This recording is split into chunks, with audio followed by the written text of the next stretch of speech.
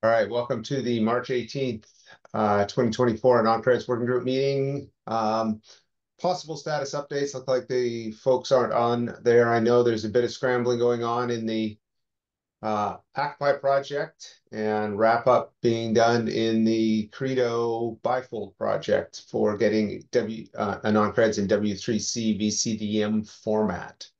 Um, talk about the revocation manager and the design for it. Uh, we did some work on that this week, so I wanted to play with it.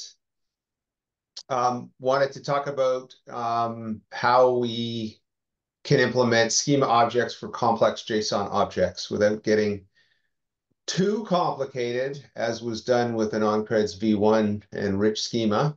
See if we can um, support complex JSON objects, um, but do it in a reasonably effective way. So I got some ideas there and we'll see how that goes. Um, reminder, this is a Linux Foundation Hyperledger Foundation meeting. So the Linux Foundation antitrust policy is in effect, as is the Hyperledger Code of Conduct. Um, preliminaries, welcome to all. I uh, don't know if anyone wants to introduce, but um, welcome to step up to the mic now uh, suggest any topics they want to talk about or any other um, things they want folks to know.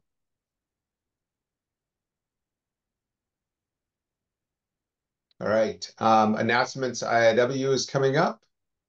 And um, as well, um, there's a workshop on uh, Wednesday, April 24th that um, Hyperledger and I believe Open Wallet are putting on related to zero knowledge proofs. ZK programming and blockchain application development.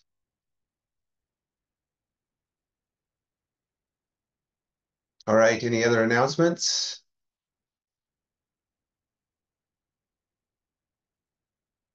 Okay, jump right into it. Um, as far as status updates go on these, as I say, um, AnonCreds at W3C VCDM format is close to completion. We've just got a little bit of uh, time left um, Credo released the 050 um, release, which was a big uh, accomplishment for that team. And that included the uh, W3C for VC support. Oh. Autopilot is requesting to record this meeting. Should we allow it? Uh, sure. Um, Second, uh, the, so the, Credo 050 is being allowed uh, or being completed, and as a result, that enables um, use of bifold for that. Uh, or access to that from bifold. So that's going to allow for the um, inclusion of um, AnonCreds in W3C VCDM support to be added to bifold. So that work is in progress by Animo. And then ACA-Py progress, um, few stumbling blocks, but I think they're close to having it. Uh, the What's Cooking team for adding this support to ACA-Py. So that's in progress as well. All right. Um, Allosaur, um, Allosaur AnonCreds Revocation Manager. So um, we recently added a project, which is right here for um, a, a uh, Hyperledger mentorship program um, mentee to take on, which is adding a revocation manager component. So this describes the project. Um, in doing that, um, we did a bunch of um, playing around with um, with uh, um, revocation manager, and so came up with a bit of a design. So I wanted to go over that and cover what it, uh, what the design should be like, and how we might um, create it, what it's going to involve. So that's what that is. Uh, sorry, Credo, Mike, is um, what used to be called Aries Framework JavaScript they renamed it. They moved it to uh, um, Open Wallet and renamed it, so it's now Credo.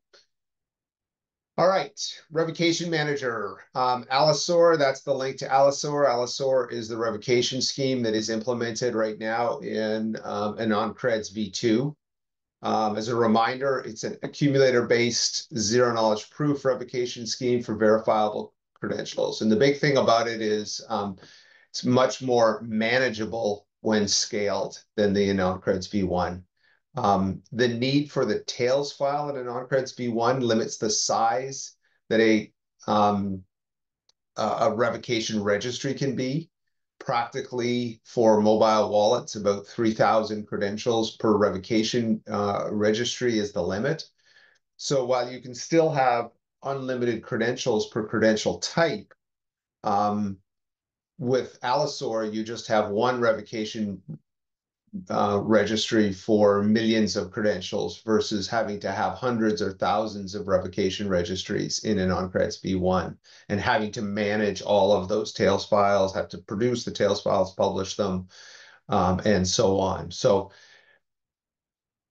basic and and produce updates to the accumulators every time um, credentials are revoked within each uh, registry. So um, the Allosaur approach is is much more manageable from that perspective. Um, but it does add a new participant into the mix, and that's called the revocation manager. So purpose of this is to go over what the revocation manager is and how it can be configured. What are the various ways um, we want to configure it? And I'll start with one con uh, configuration and then consider some other approaches that we might use. And so kind of getting feedback. So um, we've got our normal issuer holder verifier, and uh, I put it calling it the ledger, someplace to publish um, uh, the RevReg, uh, whether that be just a, a file, whether it be a, a ledger, a blockchain, whatever. Um, we need a place to put it. So we've got the issuer, um, the holder, the verifier, we've got the ledger, and then we add this new thing called a revocation manager. Um, yes. Um, one of the configurations is that the revocation manager and the issuer are just the same thing. And, and that's a collapse of this. And that's basically what I've got here is um, we've got a single revocation manager. We've got uh, an issuer. So what happens here? Issuer requests creation of a RevReg. So there's a create RevReg call, and um, the issuer gets back um, the ID for it. I should have included the ID for that, plus the accumulator. And the issuer publishes that accumulator on a ledger as a first, uh, an initial value. Um, issuer issues a VC to the holder. So this is our second step here, our, our third step here, sorry. First step is this, second step is this, third step is an issue. Um, in this case, the verifiable credential is issued plus a the um, revocation registry ID plus the an element is shared with the holder. So that element is a large prime number. I believe that's it. It has certain characteristics, but it's just a big. It doesn't number. have to be a prime number. It could be just a random. Could be anything really. It's a thing yep. Whatever but you want. There's no restrictions on, the, on, it. So on the size of it, it's it's just a very it's a it's a number. So it's on the bytes order, not kilobytes, not large. It's it's small. You can make it whatever you want. Yeah. So that goes from the issuer to the holder. Um, the whole the issuer obviously creates that and then keeps track of it associated with the holder so that it, and and the credential that it issues so that it knows when it wants to um when it wants to revoke the credential it has to have access to that element. Um, to revoke one or more elements the issuer sends to the revocation manager a list of the elements to be revoked. So it could be done on a single one at the time uh, a single one gets revoked or as a batch, say save up a day's worth and then every once a day send uh, the list of revocations over. Depends on the use case, totally up to the issuer to decide. every time they send a list of credentials to be updated, the revocation manager calculates a new accumulator and sends that back to the issuer. Um, at some point, the verifier requests um, from the holder that they want a presentation, and that presentation needs to include a um, a uh, a proof of non-revocation that the credential the holder is going to present in the in the presentation is not revoked. They might get that accumulator ahead of time. They might go to the ledger and say, "Hey, give me the latest ledger." They might have a ledger cached locally, or they might even leave it up to the holder to go get it from the ledger. That's that's all up to the to the verifier. Um, but the verifier might include with the presentation request an accumulator that they want to get updated. So now the holder, assume we, let's assume that model. So the presentation request comes with the accumulator that the verifier wants to use. Um, the holder then uh, needs to obviously conduct, construct the presentation. And as part of that, they have to get a witness, an updated witness that is um, relevant to their element and to the accumulator to which they want to prove non-revocation. So they would pass that information to the revocation manager, and they might do it by sharding the element so that they're not sharing the full element with the revocation manager, but rather they're they're sharding it and sending it in multiple requests to the revocation manager, or even a single request with multiple shards. And then the revocation manager is doing all the calculations once per shard and sending back the witness shards. The, the holder now has the accumulator plus their element plus their witness. With that information, they're able to construct a proof of non-revocation, send that to the verifier, and the verifier can uh, verify the presentation of the credential itself, but they can also verify the accumulator, uh, uh, the uh, the non-revocation. So I think that's the overall flow, and that's where the revocation manager fits in. Um, as Mike says, that can be the, the revocation manager can be part of the issuer, at which case the holder is communicating back to the issuer directly, or it could be in, in independent of it. It could be done as a, as, a service for many issuers, for example. So there's various um, ways we can do that.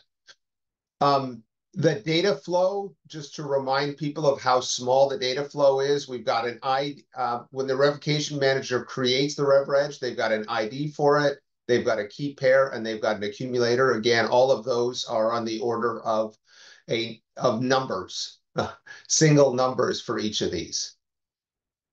Um, the issuer publishes the RevReg and ID, the public key for the revocation and the accumulator. So again, um, all relatively small pieces of data. During issuer, uh, during issuing, the issuer creates um, a new revocation element per credential. And I can take out the word prime and just say a big number um, per VC.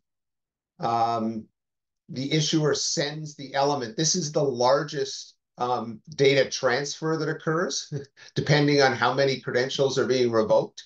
If you're obviously revoking hundreds or thousands of credentials at once, you're sending hundreds or thousands of elements to the revocation manager. So that is the one place things can get um, large, but these are never mobile elements uh, or or not expected to be mobile elements. So easily done. And um, the issuer gets back a accumulator which again is a small number. Um, the accumulator and the public uh, gets updated on the ledger, again, uh, uh, on the order of a number. And finally, the holder gets an updated witness from the uh, revocation manager for their element. And again, this might be done in shards, so you might have a handful of them. Um, but, uh, you know, it doesn't, it, it, it again is not a large amount of data. So really the only place you have a large, a potential large amount of data is if you're revoking a very large percentage or a large number, whatever size it is, doesn't matter, but a, a very large number of revocations at one time. So if you were to revoke every credential in the in the um, in a that have been issued, you would have a large transfer. But that's the only time and the only places you have large amounts of data being transferred.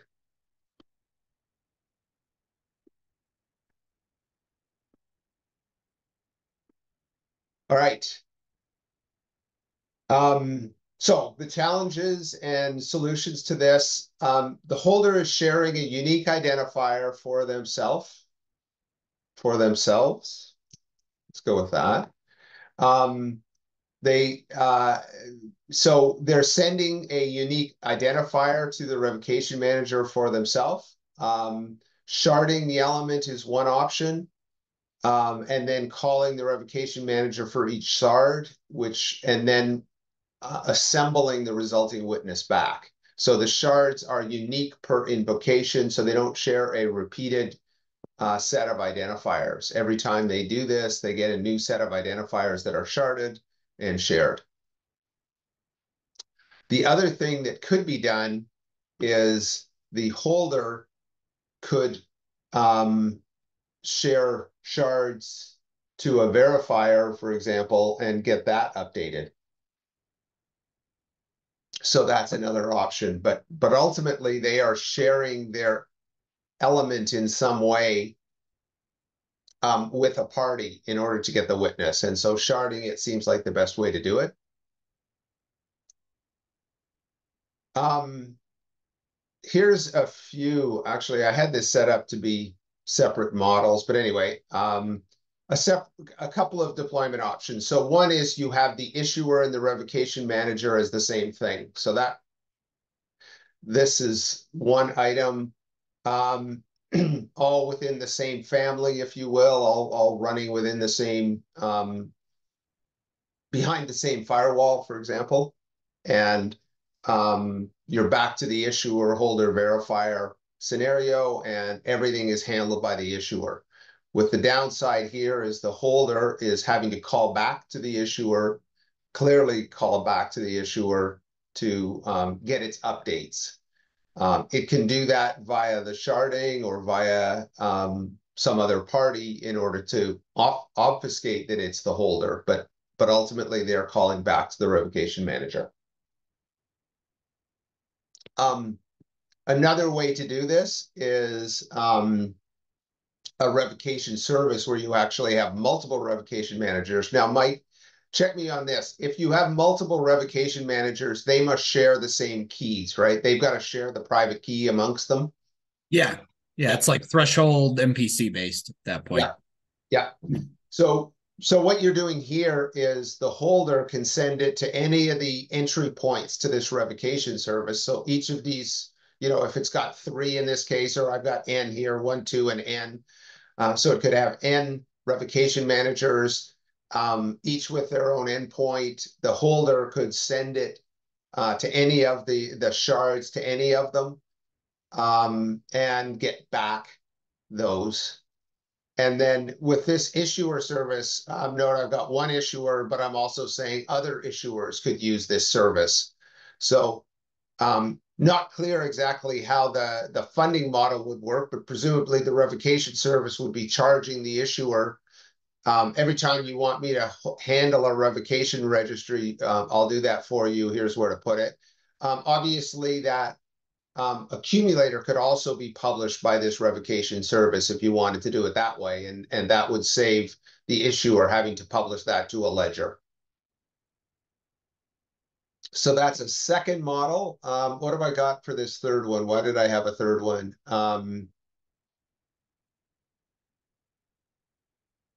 Sorry. It looks I like a, a smaller diagram of the other one. The smaller diagram, but it's got a difference to it. Oh, um, oh, that's because you're having the verifier do the update versus the holder doing the update. At least that's what it looks like. You're basically saying the verifier is just a pass through to update their witness for them. That's what it looks like. See, it says get accumulator. Anyway. Yeah. This is down on this line. So the update witness is coming from the holder. Ah, darn it all. Well, the point Oh. is, it doesn't matter who updates it Yeah. or who requests it. So it could be the holder, it could be the issuer, it could be the verifier. It doesn't matter. There's no way for them to identify Yeah. which holder is requesting the update. Oh, yeah. You know what this is? This is uh, the ledger is eliminated. That's what it is. Oh, So the revocation service, so it was the other one that I, I, I mentioned it already, which is just the revocation service is publishing the accumulator itself versus the ledger is, is publishing it. So there you go. Sorry about that. Um, but there you go. Um, so you've got a revocation service, same as this one.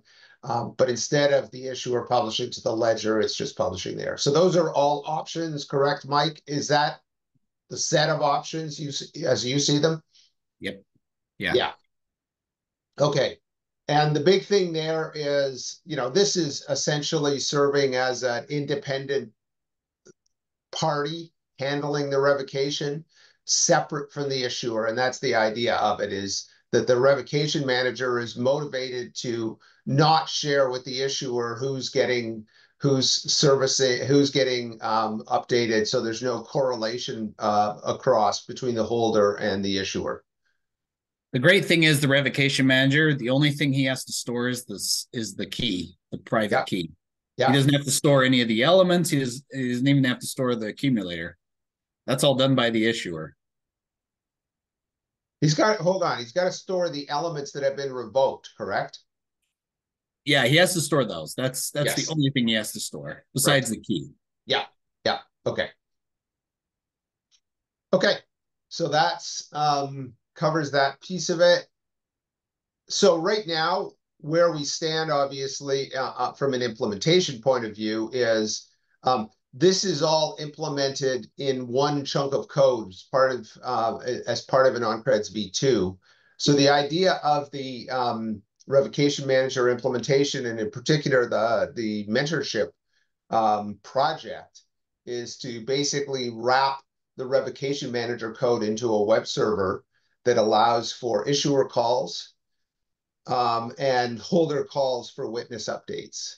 So basically to extract out that um, the part of the revocation manager so that it can be put into a service um, so that these configurations can be implemented. Um, obviously we could do it as we have it now with the revocation manager, but we could also independent, you know, create these as two separate um, services operated by the issuer and and run them. But if we ever want to get to this model, for sure, we want to have these separated out into separate um, communicating um, uh, services. Um, presumably, ideally with um, clustering support for um, you know op- operating on a Kubernetes cluster or independently each each node operating on uh, a separate server running um, operated potentially by different um, parties to enable that support. Sounds right, Mike?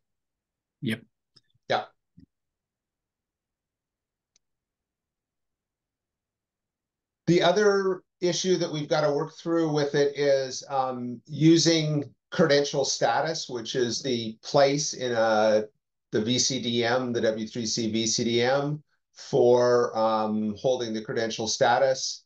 Um, we want to have a type for an Allosaur, um, a status purpose, obviously, um, and uh, a, type for the Allosaur VP as well, so that we can see both the credential status being uh, passed to the holder in the VC, but also in the VP, the um, credential status coming through such that the verifier can verify it. Um, would include the revocation manager URLs, um, the element ID and the revocation key, um, public key, Um, or that could be just picked up from the ledger wherever the accumulator is found. Obviously, the rev the revocation key would probably be put there. Obviously, the element would not be shared in the AnonCreds v, uh, would not be shared in an, in an AnonCreds VP and would be ignored in a non-AnonCreds VP. And then finally, um, one of the interesting thing I was coming up with, I don't see it mentioned here, but um, we could have several, oh yeah, it's here. We could have several status purposes. So it's used not only for revocation, but for other purposes. And this is a, a thing that I've never quite understood in the, in the VC data model, but um, you can have things like suspensions. And so you could use this same mechanism for other types of things other than revocation, where you want a on-off bit per credential and be able to independently, the issuer um, unilaterally send those out. So all of those become possible. Yeah, I mean the um, point is Allosaur just represents whatever bit you want. Revocation's yeah. obvious one, but it could be suspended or pending, whatever. Doesn't matter. Okay.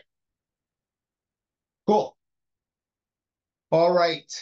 Um, so that's revocation and what I wanted to cover there. So a reminder, again, we've got that published out as a component, and we've got people already sending emails to me about wanting to know about the project and more. So looks like we might have um, interest in doing that one. So we're looking forward to that. Um, that's that. Um, Mike, do you want to give an update on the Hyperledger Labs Agora you were talking about? And I'll take some notes on what's uh, going yeah, on. so some of the, the cryptography libraries that enable this are being contributed this week to Agora because the audits are now done and those reports will be included in the repo. They're already in the repo. I just need to transfer the repos to Agora.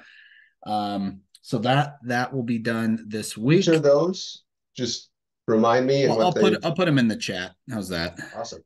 Yeah. Uh oh, why is it not typing? There we go.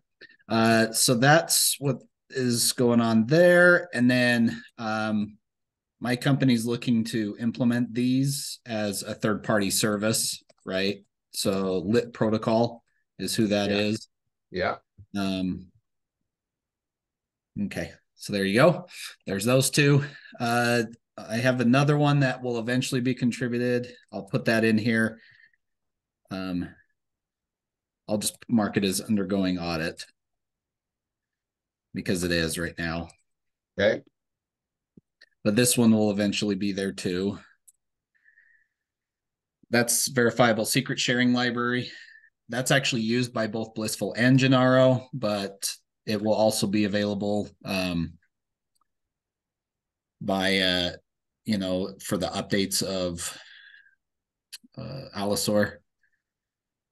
So that's undergoing an audit right now. Okay, so it will take a so while. verifiable secret sharing would be what would be used by the different revocation managers to share mm-hmm. the secrets. Yeah. Yeah, okay. it's already being used by Blsful. It's already being used by the Gennaro. so it's kind of semi been audited already, but now it's getting an independent audit again. So, uh, yep. But yeah, so the Allosaur library would would preferably use this as well. Yeah, which would be nice. But uh, Blsful is what um, will probably power the Allosaur library because it handles all the signatures, the secret key sharing, and most of the math and heavy stuff. So there's just a few things we have to add to it and revise, but otherwise it should be good to go. Okay. Now it's not using it today. No, it was uh it's an easy drop-in replacement for what it's currently using. The code that we wrote was like last year uh, or 2 years ago. and it was using something that I was working on independent from Blsful, and then I forked Blsful and updated that. So now I just need to go revamp uh, Allosaur. We can probably put Allosaur in Agora as well. Uh, at least that's the plan. I just okay. need to make sure Sam and Hart are okay with it. Actually, Hart's okay with it. I'm just waiting to hear back from Sam. And then we'll move that over, update it to Blsful and Gennaro. Gennaro is the distributed key gen. So if anybody wants to do it themselves and do a threshold scheme, they can. It's really simple. So if the oh, I, Demetrius got a question here. Yeah. Yeah. I mean, yeah, could, yeah, that's a good point. Yeah. Yeah. Maybe it's status checker. I mean, I don't know. Yeah, credential status manager. Yeah. Yeah. The point is each accumulator represents a single status. That's yeah. all. Yeah. So it's whatever. That's interesting. The the revocation is such a, a strong use case and and then they they throw out this, but it could be used for other things. And it's like, really? Are you gonna use it for other things? But you're right. That it can be and and it's just a it's just a status of a credential. So, mm-hmm. um, because I, yep. was thinking of uh, other use cases, so I was wondering maybe it's too uh, narrow a, term revocation. Yeah. But as you said, uh, maybe inside this uh, status manager or something like that, there could be a more uh, specific name for the revocation status part of it. Yeah.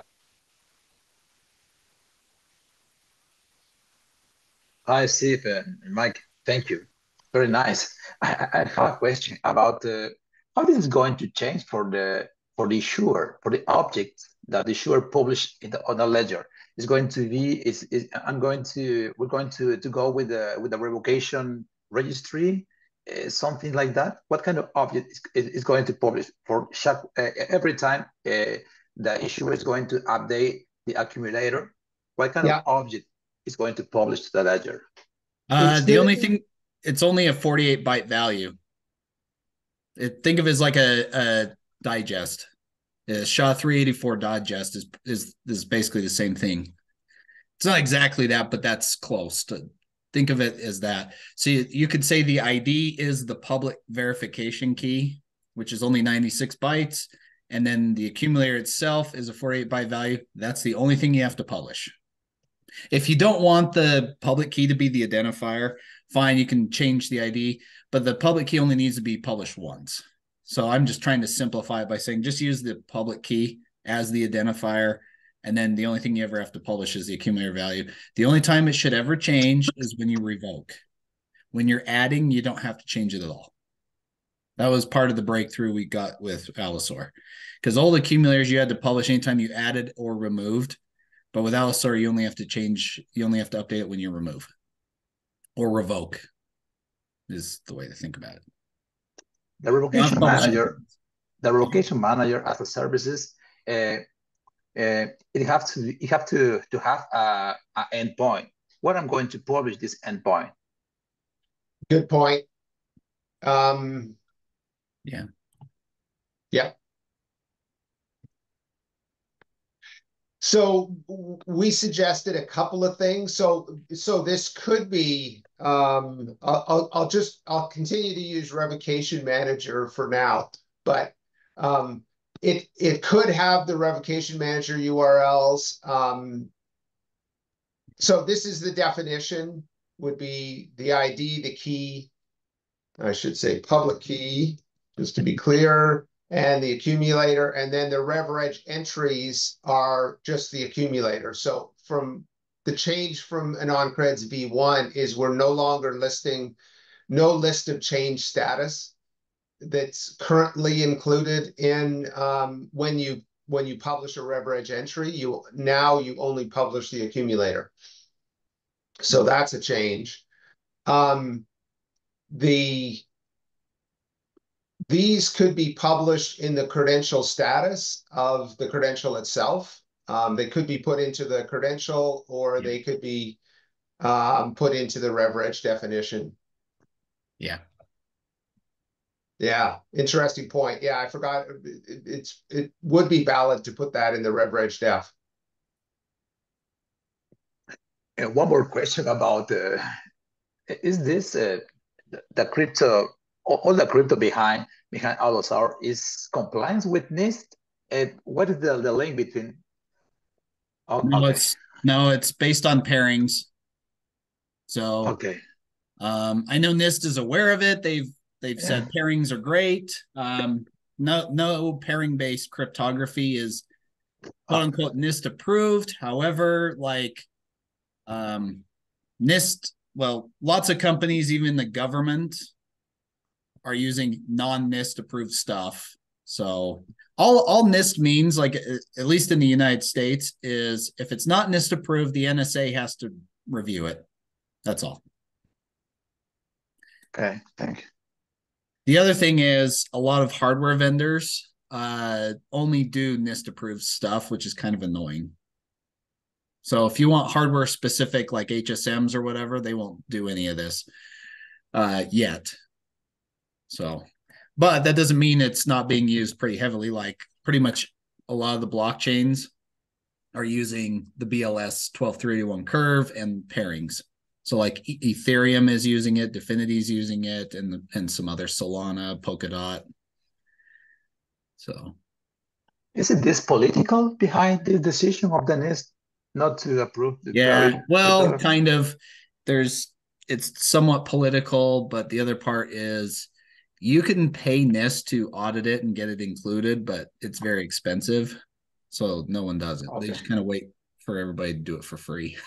so Okay. so I'm not too I'm not too concerned about it right now. Um, more and more pairing based stuff just keeps coming out, and NIST is very open to it compared to they used to be like five years ago.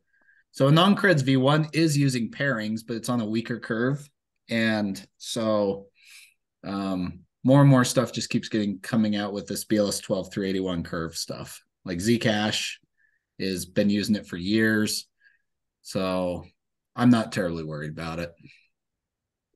But it does, but it can be a, a hindrance to adoption if NIST is required. Thank you. But NIST is rarely like must be required, right? So Yeah. most people just say, I want this so I don't have to deal with kind of the audit hurdles and things like that. That's all. And know if I remember correctly, things like BBS Plus is based on BLS three twelve, right? Yes, it is. Yeah. And so if you want to use BBS Plus, you've got the same hurdle. So, in fact, this is even simpler than BBS Plus. It's basically just BLS signatures in in a slightly different way. There's almost no difference. You put BLS 312, I think you meant 12381. Yeah, I just listened quickly. Twelve three eighty one. Yes. Yeah. Thank you. Yep. Thank you. All right.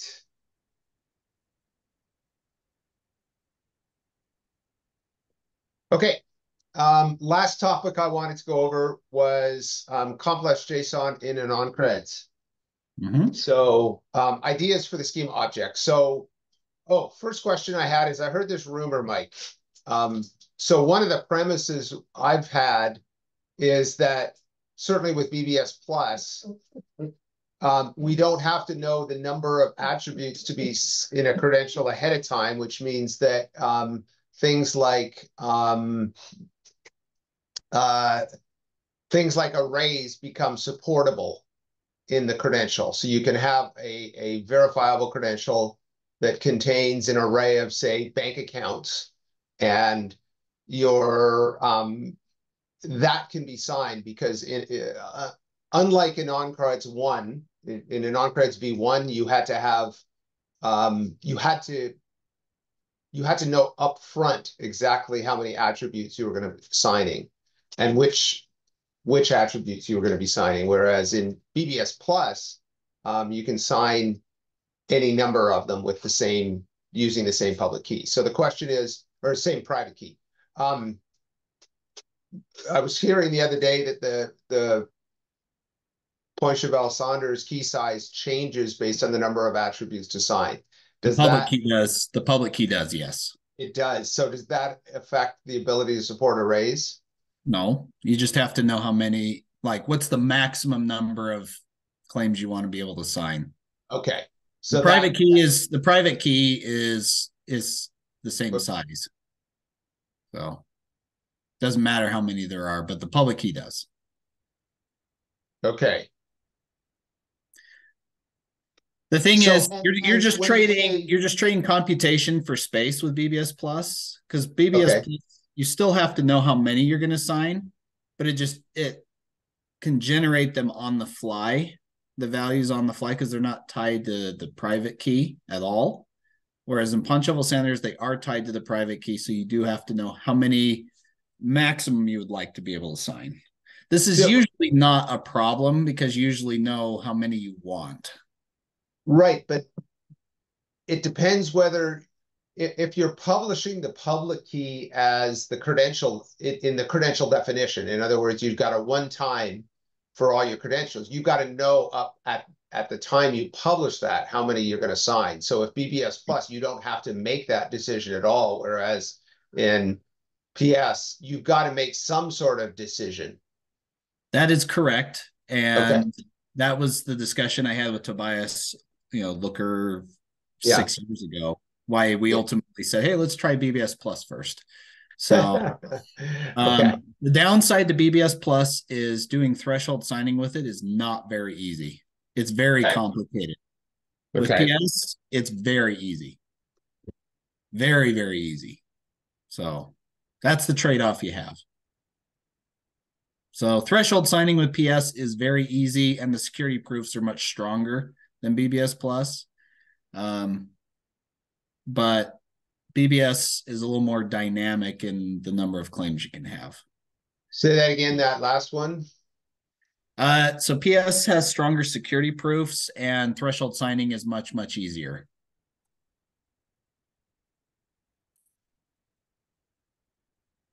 And so the downside is this PS must know. Maximum number of claims you're going to sign up front. Yep. Yeah. That's right. Mm-hmm. And it doesn't, it doesn't have to be the exact size, just the maximum. That's right. Yep. Okay, and you're gonna trade off flexibility in what you're gonna sign with, with the size of the key. Yeah. And like I said, most of the time, this isn't a problem because most Yeah. people know how many you're going to sign up front anyway. So, in practice, like I said, this isn't usually a problem. Yeah, Where Okay. where it does happen is like like maybe you were alluding to is the um like medical or something like that where there might be a dynamic number of entries, right? exactly, yeah. Um, but you can always mix and match them, right? You could say for that one we're going to choose BBS plus, but for others we're, where we already know what the max size is, we'll choose PS.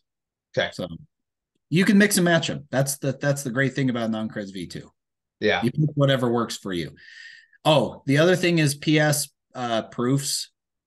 Uh, so ZKPs are smaller than BBS. Okay. So that's the other trade-off is PS ZKPs are smaller. So good stuff. This is very helpful. Sorry, let me capture, I just wanted to capture this as we go. Okay, So ZKPs are smaller, and you can also parallelize the ZKPs, whereas in PS you cannot. So you can say they're smaller and they're faster to generate, whereas BBS Plus you have to do them all in in serial in series. I hear you, dog, sorry. Your dog We're must baby- be like my dog, constantly at We're the ba- door, running in and out, in and out, in and out. We're babysitting. Ah. And he loves to come into my office and out again. Okay, um, last part that I wanted to talk about was complex JSON and AnonCreds. So as I said, um, with the AnonCreds V1, we had very, you know, list of attributes. That's it. No complex JSON supported. And so the schema was just a list of attributes. In, in AnonCreds V2, obviously, for those attributes, uh, for each attributes, we are going to have metadata about them, just to use a different word. but we're going to have attributes about the attributes, um, which is what gives us our flexibility in AnonCreds V2. We're going to say this is uh, an integer, this is a string, this is a set, um, this is a scalar, and and so on. So we've got to, and, and and not only that, we're going to say here's the regular expression that the value must uh, achieve, or here's the um, uh, here's the range uh, the data must fit, and and things like that. So that's um, we have to have a lot more information about the schema than we had in AnonCreds V1.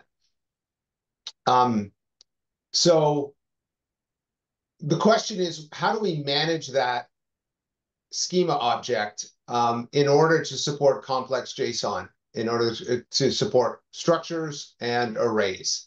Because that's the that is the goal is that we, unlike AnonCreds V1 with V2, we would like to be able to support any and uh, you know any credential, any W3C credential.